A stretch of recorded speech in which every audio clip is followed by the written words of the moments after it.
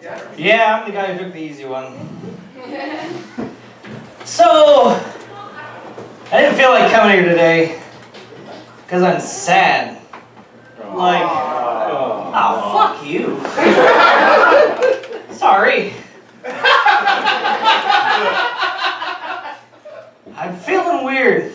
Like, although seriously though, the guy at like uh, Disorders Incorporated who named seasonal affective disorder like had to have gotten a promotion, right? it's, a, it's an acronym that spells SAD. because it's a disorder where you get sad when it rains a lot. Like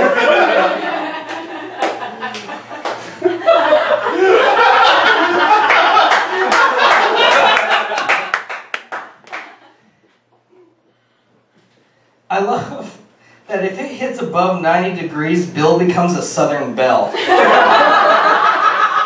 loading, loading!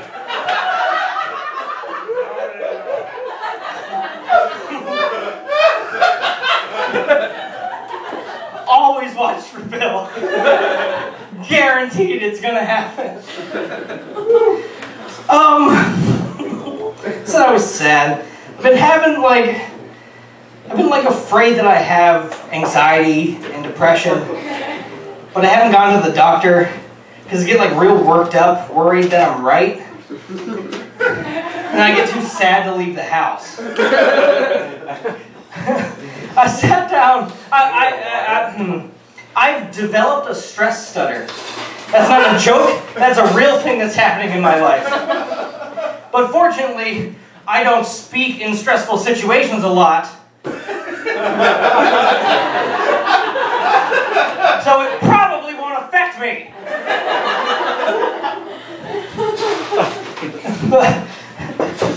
I sat down to write jokes for the first time in my life today.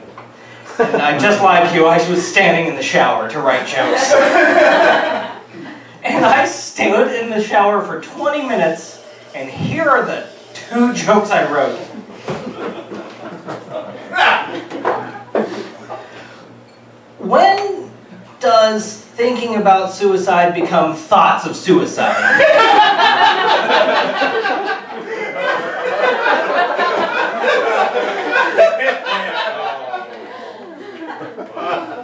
and I have a handgun in my house because I'm afraid of home invasion. I don't know where the keys are because of that first joke.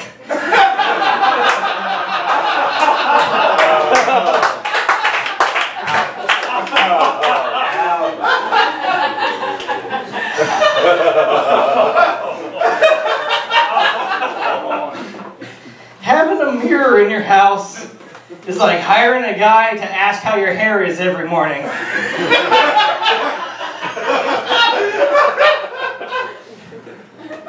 but sometimes you get out of the shower and that guy goes, Hey, you're fat and your dick looks weird. I don't know why I hired that guy to be in my room.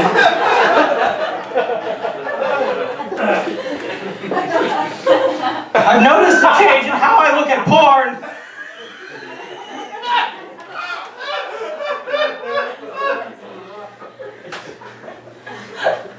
I've developed like a real issue with certain sounds. And like some porn the voice cracking the joke, that's just my life.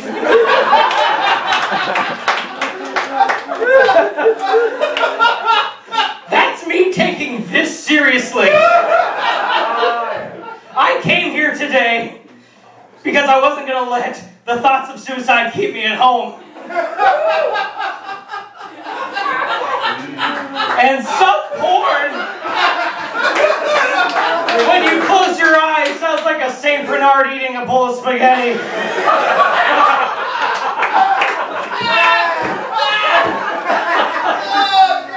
and like, as I've grown up and become like more aware of other humans, like there's just something that like I can't get into porn when one of the hashtags is crying. like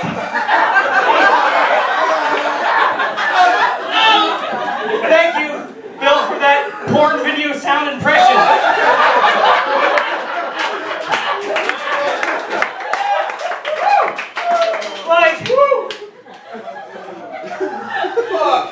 The older I get, the less appealing barely legal teens are. Why? Who is that for? I want my porn to be in to be barely legal.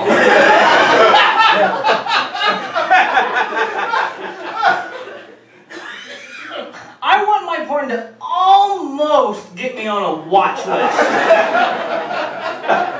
I want to be on a keep an eye on list.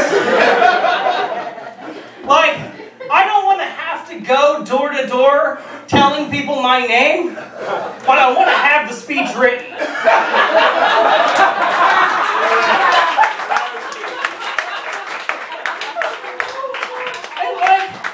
Like. I got tattoos, piercings, I can throw in a visor, get a six pack of Mike's Hard Lemonade, ride to any college within 15 minutes of my house, and have sex with barely legal teens. I could do that, but I don't want to. The last time I was into barely legal teens, they were older women. And I didn't want to jerk off to people who, like, were my mom's age. I was really bad at estimating ages. so, the porn I look at now are erotic comics. That part gets a laugh every time and it makes me sadder each time. It's the erotic, or uh, the romance novel of my generation. I make sure I'm not on the work Wi-Fi because they track that shit. We got LTE at work. Fuck. All right. I read my one page, and I'm like, whoo! Oh, that's enough for me. I don't need to masturbate. Whew! That woman and robot love each other.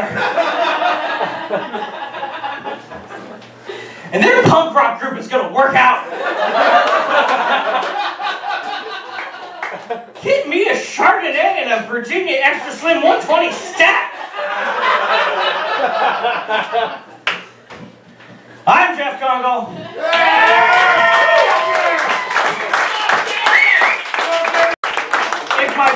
Phil will be back next week.